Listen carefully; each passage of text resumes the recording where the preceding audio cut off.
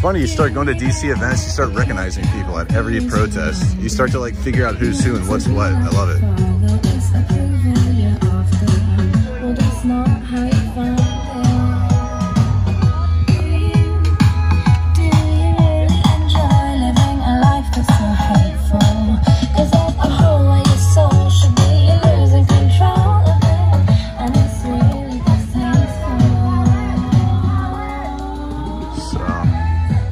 Yeah, the rest, it seems like people, most people have cameras and they're just relaxing. Um, not a lot going on. We got a Freedom Convoy member. We have, um, sorry, some silent signs here. Honestly, this is what like America's about at the end of the day. It's not, not too bad, not too crazy. Did see that sign over there. I'm not a big fan of that over there, but that actually, that's the one woman who refuses to speak to me is, uh, she walked by. I don't know where she is right now, but she won't talk to me.